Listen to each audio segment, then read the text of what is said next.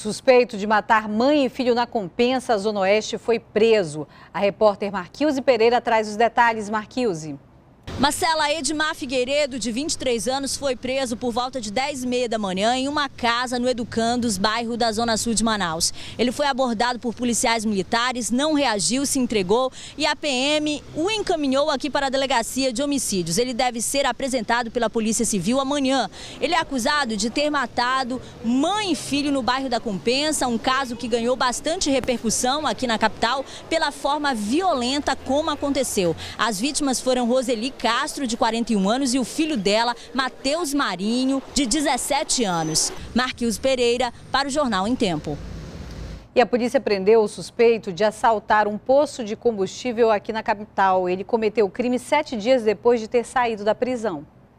Adriano Rodrigues é natural de Barcelos e já cometeu vários crimes aqui em Manaus. O último foi um assalto a um posto na Cidade Nova. Câmeras de segurança do local registraram toda a ação. Em razão daquelas imagens que foram divulgadas terem causado uma repercussão negativa com relação à, à população que já se sente insegura, porque o Nacional de fato portava arma de fogo e nas imagens era bastante agressivo com as vítimas. Adriano já cumpria pena por assalto a um mercado e carro forte, mas foi solto há poucos dias. Que uma pessoa que passa 14 anos atrás das grades tem um benefício de progressão de regime, ou seja, do fechado para o semiaberto, está na rua há sete dias apenas para passar Natal com a família e comete o mesmo delito, sinceramente, não deveria estar na rua.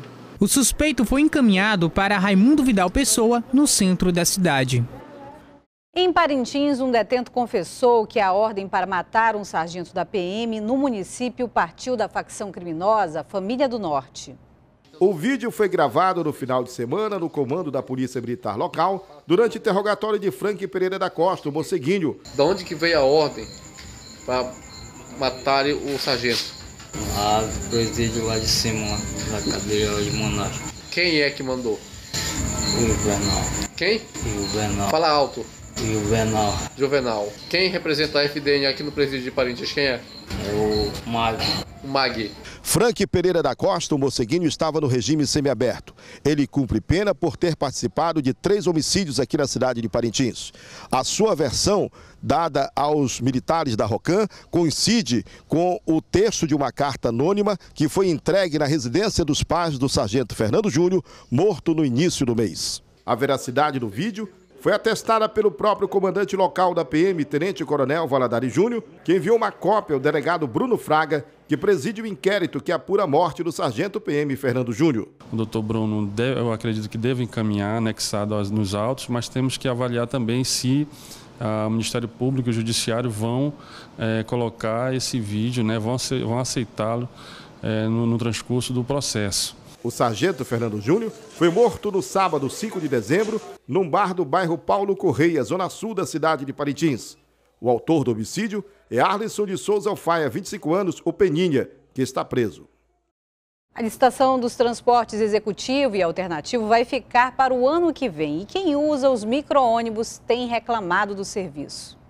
Tem muita gente que paga mais caro prefere o ônibus executivo. Ele é rápido e mais confortável. Os ônibus normais que a gente pega é muito lotado todo o tempo, sempre, entendeu? É mais uma opção então pra gente. Dona Auxiliadora diz não ter outra opção a não ser pagar a mais pelo serviço. Em vez de eu pagar um táxi, eu pago quatro reais, né?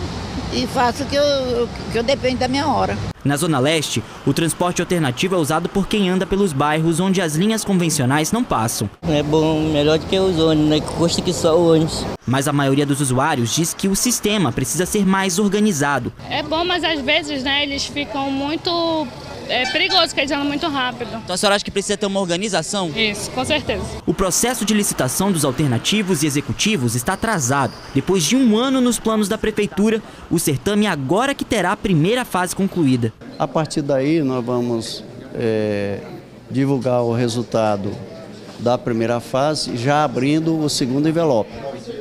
Já tem um prazo? A gente pretende fazer isso na semana que vem, mas isso pode atrasar em função do fechamento dessa documentação que está sendo pedida. É, e parece que essa história ainda não terminou não. Na semana passada, a SMTU solicitou aos candidatos à vaga uma certidão de débitos trabalhistas. É necessário que a pessoa não tenha débito com a justiça. Caso haja, é preciso entrar com pedido para aprovação. No entanto, a categoria afirma que, mesmo essa solicitação sendo prevista pela lei de licitação, pode atrasar o processo porque a SMTU não pediu esse documento antes. Cerca de 20% né, de, das pessoas que trabalham realmente no, no, transporte executivo e do alternativo, existem esses débitos.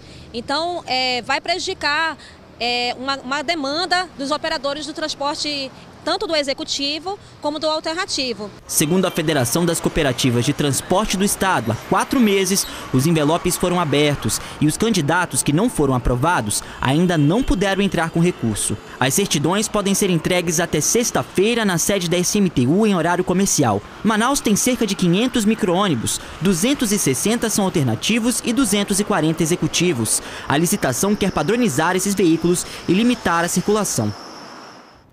Uma audiência pública foi realizada agora à tarde para discutir como vai ficar a situação das famílias retiradas da comunidade Cidade das Luzes, no Tarumã. O repórter Diego Cativo traz outras informações. Diego.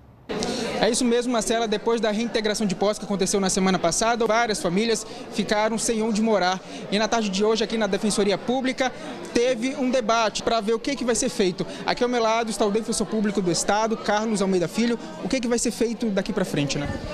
Temos uma situação complicadíssima agora, porque, independentemente de qualquer alegação dos poderes responsáveis pela remoção, existem famílias que não têm onde ir. Os movimentos sociais, que são o nosso único esteio ao enquanto, apontaram uma quantidade infinita de famílias que se encontra tanto acampada quanto se encontra se aboletando na casa de parentes. Essa é uma situação que viola os mais básicos direitos fundamentais e a Defensoria Pública apontava isso desde o início. Motivo pelo qual nós devemos buscar a solução de imediato. Isso não poderia ser feito sem a realização da reunião para debater com as pessoas pessoas e com os representantes de movimentos sociais sobre a situação. É isso, muito obrigado. Então é isso, Marcelo, volto com você aí no estúdio. E os mototaxistas que circulam na capital sem autorização da prefeitura fizeram uma manifestação hoje. Eles querem continuar trabalhando. A concentração foi na Avenida Altais Mirim. Os mototaxistas que rodam sem autorização da prefeitura foram às ruas pedir espaço para trabalhar. Nós estamos procurando isso, uma padronização, uma organização. Nós não temos raiva dos legalizados. Pelo contrário, nós até queremos ingressar nesse sistema. Alguns ficaram de fora da licitação feita pela SMTU. A gente espera que o prefeito, entendeu, nos atenda, nos receba, né? Que todos nós somos pai de família, nós trabalhamos. Hoje, cerca de 8 mil mototaxistas trabalham sem permissão aqui na capital. O Brasil está em crise, o mundo está em crise. Né? Como é que nós vamos sustentar nossa família? A fiscalização está demais, a SMTU está dando em cima. No fim da manhã, os mototaxistas seguiram para a sede da prefeitura na tentativa de reunir com alguns representantes do governo. Foi aberta ontem na Catedral Metropolitana de Manaus a Porta Santa da Misericórdia, um ritual que prevê o perdão àqueles que estão arrependidos dos pecados. A Porta Santa é aberta a cada 25 anos. Por vontade do Papa Francisco, foram abertas todas as portas santas em todas as catedrais do mundo. Ela vai ficar aberta até o dia 16 de novembro do ano que vem. Papa Francisco, nesse ano de jubileu da misericórdia, convidou todas as dioceses do mundo inteiro a também abrir uma porta santa para que os fiéis possam passar por ela e buscar experimentar essa misericórdia divina, buscar o sacramento da reconciliação. A data de hoje simboliza estarmos aceitando o convite que o Papa Francisco nos faz para que inicie-se na data de hoje o ano da misericórdia. A missa deste domingo do Advento marcou o início do Ano Santo, o Jubileu da Misericórdia celebrado pela Igreja Católica. E durante a celebração, o bispo fez um apelo contra a violência. Se há muita guerra, muita divisão, terrorismo, delitos, crimes, é porque a gente esqueceu Deus. O ano jubilar quer nos lembrar que Deus, Pai de misericórdia, nos chama a voltar a Ele. A abertura da Porta Santa foi um momento histórico para os fiéis, já que é a primeira vez que a catedral aqui da capital participa do ato. Outros santuários da Igreja Católica também vão realizar o ato de abertura da Porta Santa ainda esse mês. Terça-feira, no Santuário de Aparecida, teremos também na, no domingo próximo, às 11 horas, na Fazenda da Esperança e no dia 19 de fevereiro, no Santuário de São José Operário.